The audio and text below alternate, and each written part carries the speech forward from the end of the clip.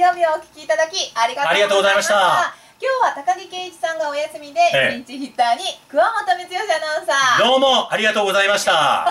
あっという間だったね。あっという間でした、ねえ。どうでした桑本さん？あっという間だった。どうそれだけ？ええ。楽しかったですけどね、うん。お聞きいただいた方がどうだったかなと思うんですけどもそれにしてもゆかり、はい。ねラーメン対決、ええ。レシピ対決、はい。勝利おめでとう。いやありがとうございます、皆さんもね赤点を使ってね。やってもらいたいと思います、ただあなたの最後のあの高木くんのフォローの仕方ね。